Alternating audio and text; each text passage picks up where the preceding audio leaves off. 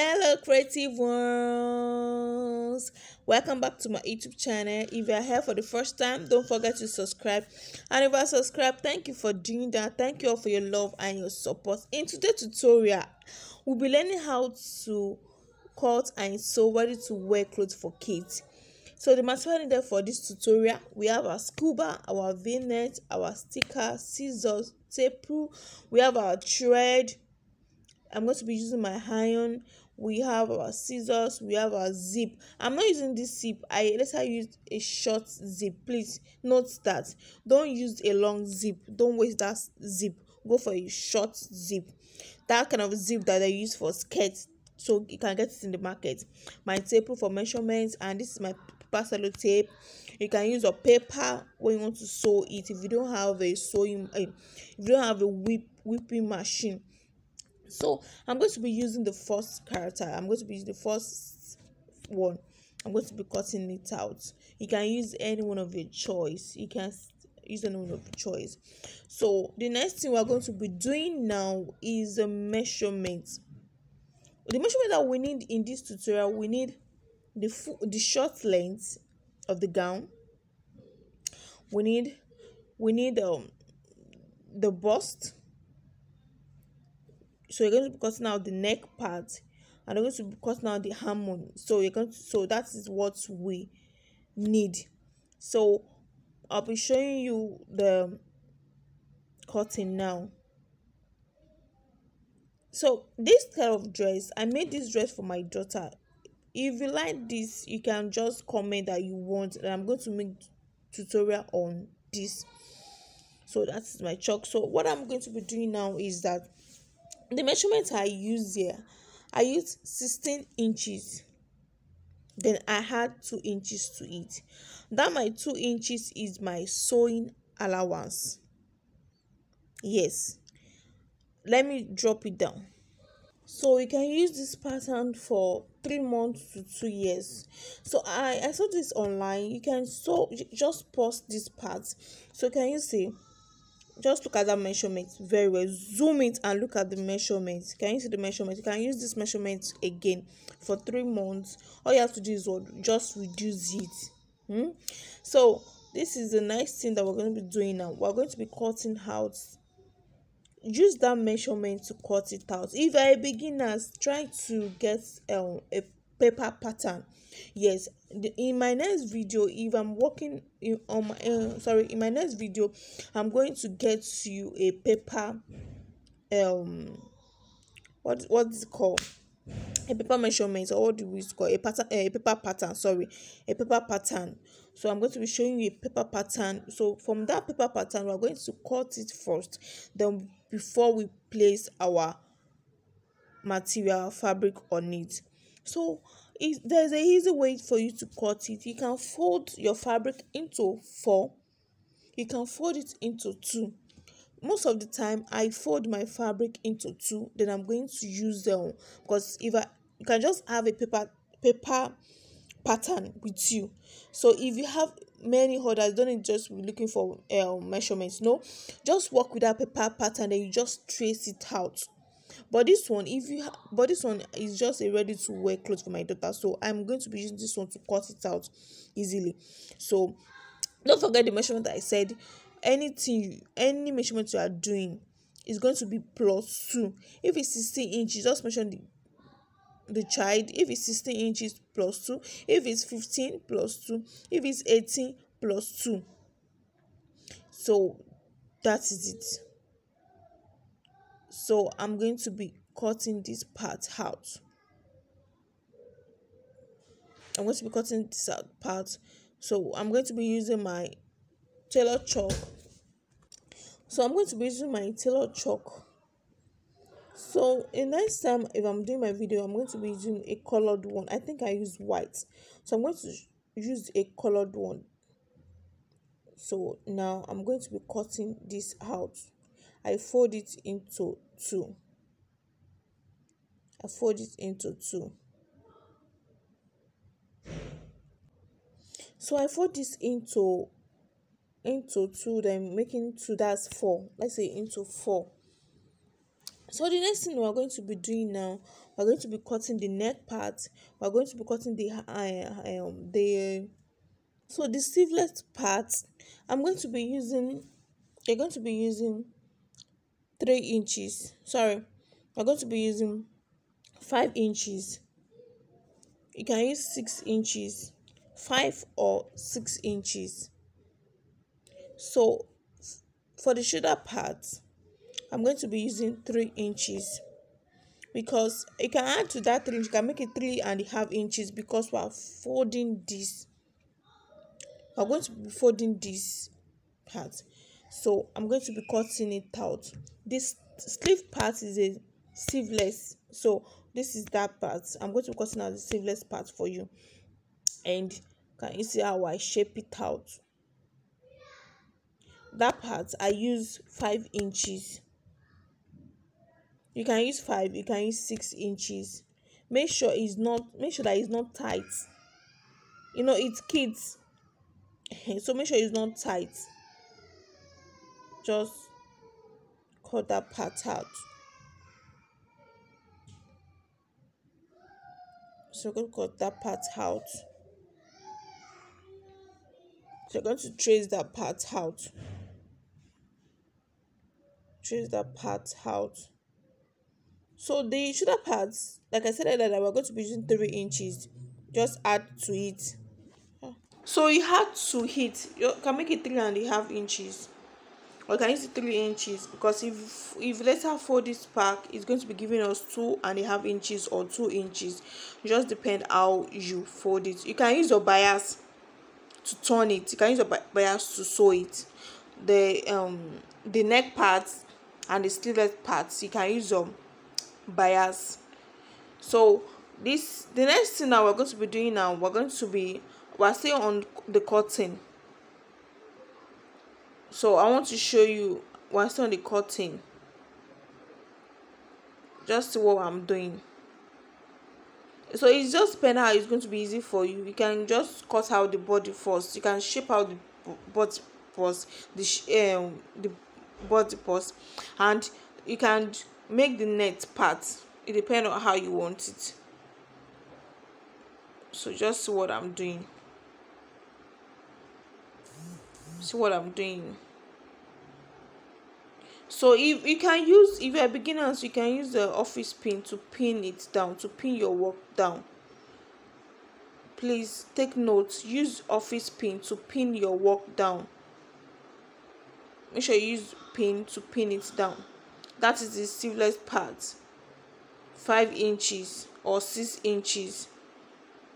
Five inches or six inches again five inches or six inches.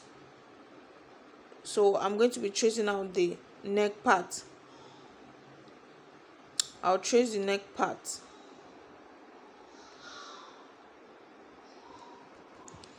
So avoiding so that is it. So the next thing we're going to be doing now we're still going to go back to the neck part. I think i did um i have some i i did i had a little break there. So the neck part like i said i'm working with two by three inches. You can use two and a half by three inches but better for you to use two by three inches so that the neck is not going to be too wide. You know this is a stretchy material. You know scuba is very is is a stretchy material. And don't forget don't use the stretching part. Don't use the stretching part can you see? I am done with the cutting. I am done with the cutting. The gown part the gown length is 16 inches plus 2 inch that's 18 inches. The sleeveless part i use 5 inches you can use 5 or 6 inches. The neck part i use 2 by 3 inches. Please let me write it down for you. So that is the measurement i use short length 16 plus 2 inches sleeveless 5 or 6 inches the neck part 2.5 by 3 inches. That is it. So i'm still going to shape the two side the down part i'm going to shape it back. So next thing we're going to be doing now this is our sticker. Yes. I'm going to be using this sticker i'm going to be using hot glue. I'm uh, sorry i'm going to be using my iron. You just place it there i'm going to be using my iron. Make sure your iron is not too hot. So can you see? So you just very easy. You press it till the gums comes out. The what the so just press it. See what i'm doing you press it.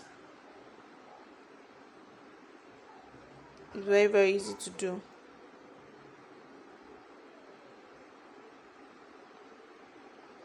So you're going to press it.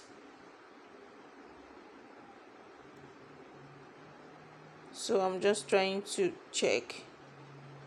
So I'm going to press it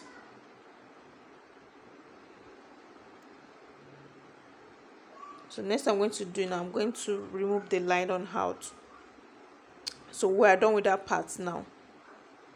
We are done with that part. So the next thing we are going to be doing now we're going to be doing our sewing. We're going to be doing our sewing. And for the next part for the next part i bought one yard. I have one yard. So that one yard i think it's by 60 so the longest part just measure it. From from where the the sticker stopped to down a little bit down. Yes just measure it. Then you are going to cut out your net out. Then you're going to be doing a um what what what do we call it? A gathers or you can do a you can do a pleating. Small small pleating with the net. So just small small pleating with the net. So i have a little break there. I have a little break there.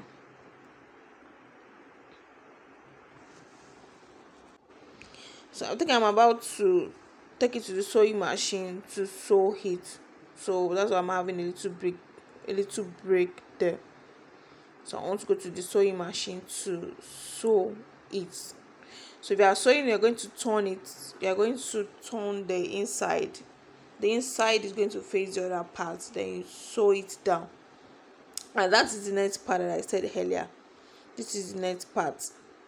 So the next part you are going to be doing a pleating a little pleating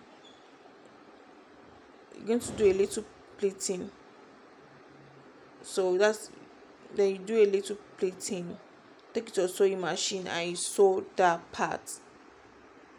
You sew that part. Just do what i'm doing arrange it very well and take it to a sewing machine and you sew it down. Then after you sew it down you are going to turn it up. You're going to you're going to turn it up. Then you're going to sew it. Then you turn it back. Do you understand that part so i'm just trying to secure that part. Yes i'm i'm trying to secure that part. So it's better for you to do your your sticker then you're going to do your net part before you join it. That part is very important. So what i'm going to be doing now next thing i'm going to be doing i'm going to join these two together. You can use your pin to pin it down then you take it to a sewing machine then going you're going to sew it down. If you don't have a weaving machine in a weaving machine you don't have a weaving machine you can just use your paper to sew it. Use your paper see what i use. I i normally use my paper then after i'm done with my work after i'm done with my work i'm going to pull out the paper and this is the zip part. At the back of the cloth just fix your zip there. So you're going to be placing your zip like that. Don't forget i said we are going to be using a short zip. This just go to people that go to that sell material then you ask for skirt zip. This is called skirt zip. Then you are going to take it to a sewing machine then you are going to sew that part. Place it very well then you're going to sew that part. If your scuba is not sewing use your paper. Then after you are done with your work use your your hand and your needle to pull out the paper out so that your work is going to be very neat. And after you are done with your sewing use your iron to iron your cloth that one is very important. Use your iron to iron your clothes. So i'm going to be fixing the zip on it. So the next thing now i'm going to be placing the next part. Can you see? I'm going to be placing the next part. Let me show you how to place the next part. I'm going to be showing placing the next part after you are done with the pleating gathers i don't know you, so you are going to sew that part just down. Then you are going to turn it back. And you turn it back. So for the sleeveless part at the top of the sleeveless part you're going to still going to use your net. You're going to use your net. The way you want if you want it to be full just the the same the same way i made this you're going to use make that part see. Can you see? Just see. Then use your hand to arrange it. That is it. And don't forget when you're done with your work take it to your weaving machine and you weave it. You can take it to people that weave clothes to help you to weave your clothes. So that is the hand part. So the next i'm going to be doing i'm going to iron my work that is the finishing part. You're going to iron your clothes that is the finishing part. Don't forget to subscribe don't forget to like and don't forget to share. See you next time on my next